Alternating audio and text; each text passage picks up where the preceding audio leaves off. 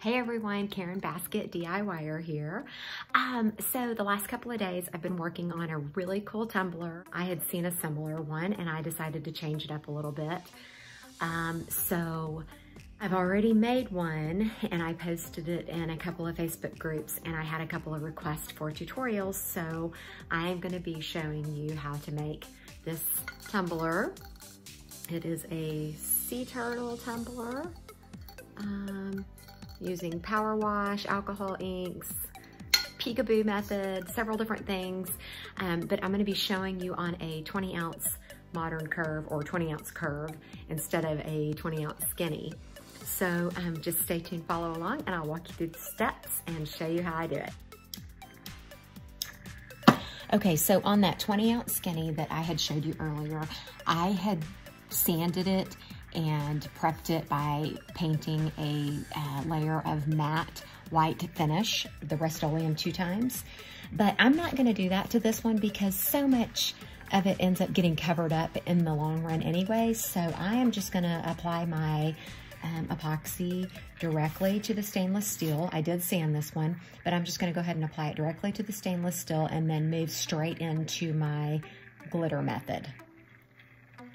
I'm applying a really thin layer of Mr. Nola's glass coat here, but you could also do this with Mod Podge or a quick set epoxy. So I'm gonna be covering the whole thing first of all with this um, Chameleon from Glitter and Grand.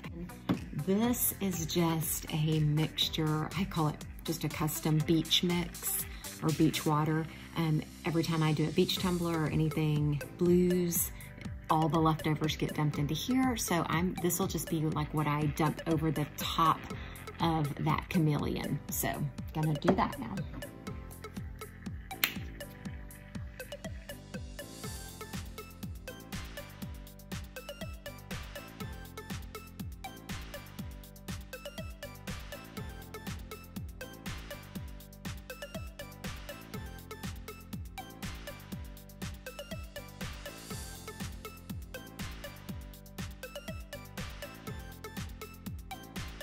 Also, um, you saw that I ended up adding a fine mix of glitter to the top um, just to fill in all the gaps that the chunky and my beach water mix didn't cover. And that was by using Mermaid, which is also by Glitter and Grand.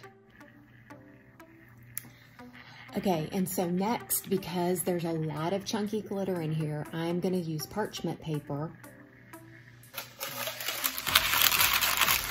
to um, wrap around it and press it down, press down all the chunky pieces. That way, um, whenever I get the next layer of epoxy on it, it'll just be less maintenance, um, less sanding to do.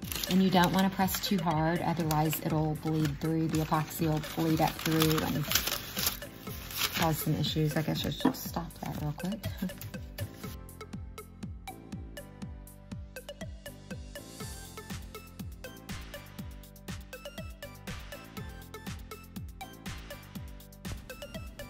Okay, and so now that that layer of glitter is all cured and dry, I mixed up about 20 milliliters of Mr. Nola's glass coat. Guys, I really do love Mr. Nola's. Um, it just creates such a beautiful finish. Uh, this coat here, I really do wish I had some quick coat, which I just ordered some. Um, it should be in in the next couple of days, so I'm just having to use the Mr. Nola's. But with this, you just have to really massage it and work the bubbles out, and then it just produces the most amazing super shiny finish. But unfortunately, this coat here is going to get sanded really well and um, prepped for my vinyl and spray paint. Okay, and so by the way, this is removable vinyl that I'm using here because you want to be able to remove it later. If you use permanent, it is way too difficult to remove, in my opinion. And my favorite vinyl to use is Expressions vinyl, and I'm gonna drop a link to a coupon code for you in the description below, so be sure to check that out.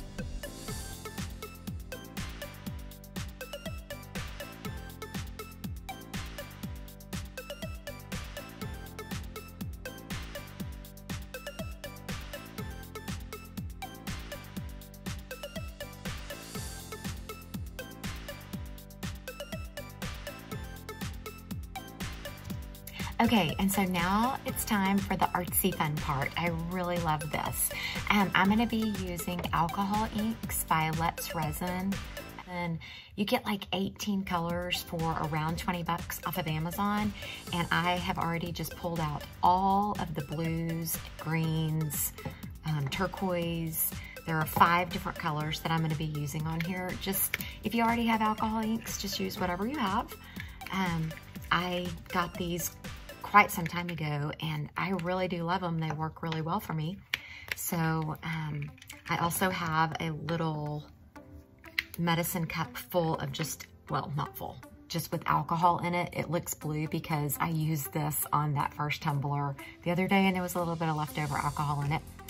So um, what you're gonna do, you're just gonna take your uh, painted tumbler. You can see I've spray painted that Rust-Oleum two times um, satin finish. Looks a little glossy, but it's actually a satin finish. Right over the top of that vinyl. You can see the vinyl turtles there. And so now you just um, take your ink, just start by dripping your ink on. And I dip my brush in my little medicine cup of alcohol and then just, it starts to just kind of do its own thing. Not a lot of effort here but it's still fun to just kind of get creative with the colors. And I just kind of rotate through my colors. put a little or a lot, doesn't really matter.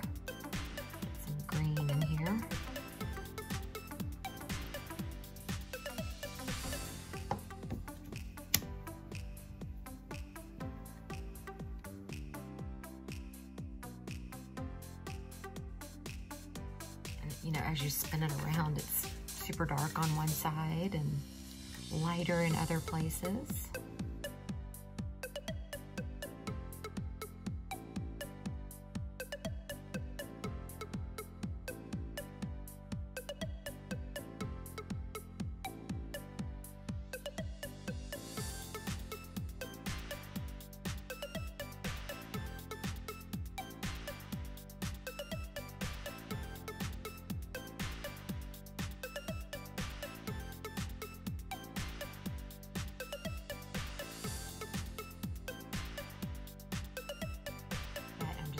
Show you here, all the different variations. This is something you could even do by putting your cup on your turner if you have a pretty slow turner um, and just dropping the ink on and dragging your paintbrush across it. Um, but then I'm just gonna kind of rotate it a little bit while that dries. These tend to dry pretty quickly, but look at all those colors. It's so pretty. Lots of turquoise, blues, greens, um, just a lot of pretty colors. So as soon as this dries, I'm gonna take it outside. Guys, it's like um, 10.30 at night, so dark outside. But anyways, I'm gonna take it outside and do the power wash method next. Okay, so my bad. I just almost missed a very important step. Well, I think this is very important. Sealing the alcohol inks. I use the clear matte finish Rust-Oleum and I just ran out and did this give it a quick coat to seal those alcohol inks because if water hits those, they're all gonna run off. It's just gonna wash the cup off whenever I do the power wash. So definitely seal before the power wash method.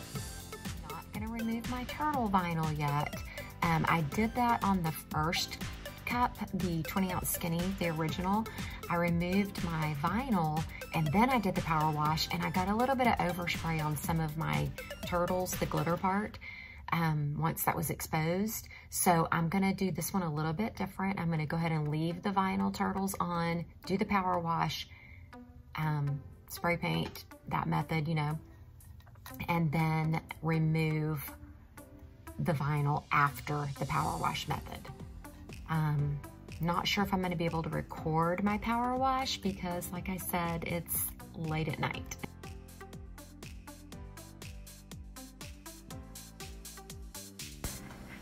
Okay, so basically you just want to use your Dawn dish soap power wash and you want to spray over your vinyl turtles. and just, you know, a little bit of overspray. And then you're going to use, um, I like to use the Rust-Oleum two times, and I use Lagoon color here first. And then you get some water and you pour over that. And it will reveal um, the turtles. But yet you can see there, I'm showing you the Lagoon spray paint. And then I just kind of patted it dry. And then I'm doing this again, the Dawn Power Wash. Covering the turtles again. But this time I'm going to use white spray paint, the Rust-Oleum two times matte finish white spray paint.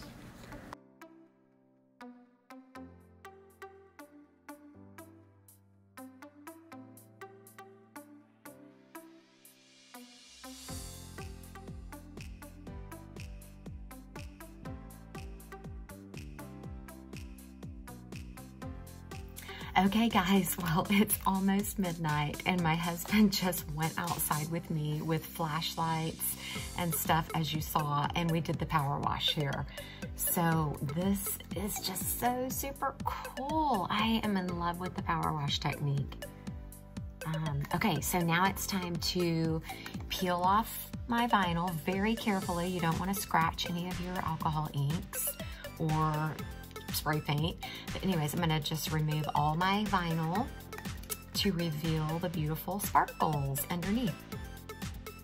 Once the epoxy is on here, this glitter will all come back to life. It looks very dull right now because it has been sanded, you know. I'm just gonna use, I'm just using my little Cricut vinyl hook tool, whatever it's called. I don't even know, to remove all this. This is pretty tedious. So um, I'm probably just gonna do a little fast motion for the rest of the removal here.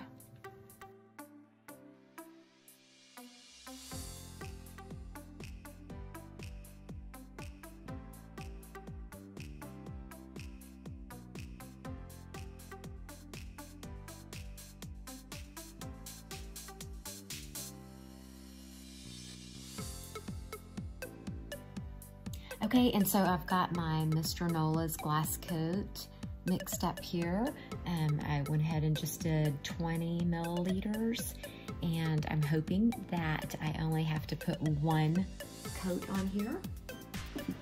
So with the Mr. Nola's, I've learned that you um, just working it in and massaging it in really well, you know, helps it get into every nook and cranny and um, gets the bubbles out and then you don't really have to do much with a heat gun later. Like I know with one of the epoxies I was using previously, I had to like really work it with the heat gun a lot. But that's one thing I really like about the Mr. Nola's is it's pretty effortless. All right, you can already see the turtle glitter starting to shine through. This cup has been a lot of fun, and I hope that um, I've taught you something new and that you're encouraged to try one of these and that you will just go ahead and like and subscribe and watch all my other tutorials while you're here. Um, I don't claim to be a professional. I'm very new to tumblers, in fact, but I just really love learning by watching other creators and um, just kind of putting my own spin on some of these techniques and coming up with some fun new stuff. So again, I hope you have enjoyed what you've seen here.